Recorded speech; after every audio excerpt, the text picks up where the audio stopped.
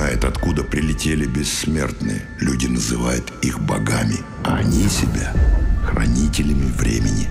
Дед, но это сказки для самых маленьких. Придумай что-нибудь поинтереснее. Василиса, что у вас тут происходит? Единственный в мире заповедник среднерусских лесных крокодилов. Че ты гонишь, а? Покажи его. Василиса, чудеса на земле запрещены. Я ведь рассказывал тебе про внучку Дашу. Как-то раз она потеряла контроль над магией. И силы хаоса вырвались наружу. Мне пришлось заточить ее в шар.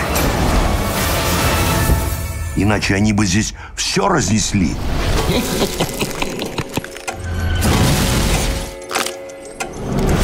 Ты просидела в шаре больше ста лет. Это дед Николай засунул тебя в шар. Это его новая внучка. В ней огромная сила.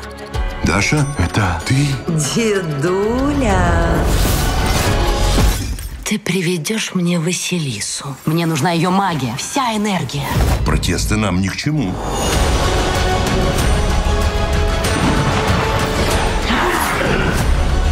Я с тобой до конца. Мир на грани катастрофы. Только Василиса остановит ее. Кто я?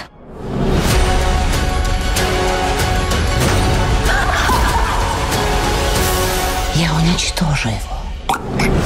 Василиса и Хранители времени.